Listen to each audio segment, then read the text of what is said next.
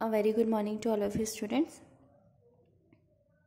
आज हम इंग्लिश का न्यू ग्रामर चैप्टर स्टार्ट करेंगे, जो है येस इट इज़ और नो इट इज़ नॉट मतलब येस ये वही है और नो ये नहीं है। ठीक है? यस मतलब होना और नो मतलब नहीं होना। ठीक है?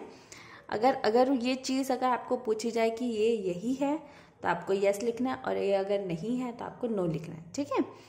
तो राइट येस इट इज़ और नो इट इज़ आपको येस इट इज़ लिखना है या फिर येस नो इट इज़ लिखना है, ठीक है? तो पहला क्वेश्चन है इज़ दिस अ काउ क्या यह काउ है? नो इट इज़ नॉट ये काउ नहीं है. इज़ दैट अ हैन क्या ये हैन है? यस इट इज़ ये हाँ ये हैन है. इज़ दिस अ बॉय क्या ये बॉय है? तो yes it is a boy yes it is तो ये क्या पूछा जा रहा है यहाँ पे? इज़ दैट एन एलिफेंट क्या ये एलिफेंट है? नो इट इज़ नॉट ये नहीं है।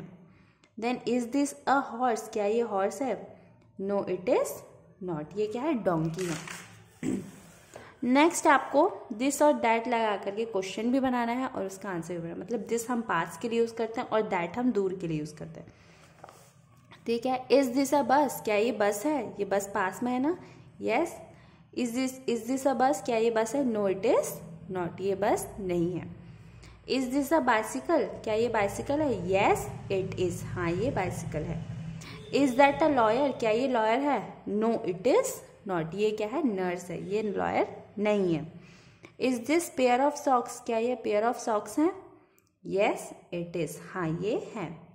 Is this a mobile phone क्या ये मोबाइल फ़ोन है? नो इट इज़ नॉट ये मोबाइल फ़ोन नहीं है।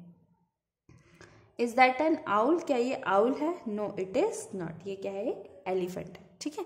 तो ये चैप्टर में आपको सिर्फ़ यस और नो को ही बनाना है।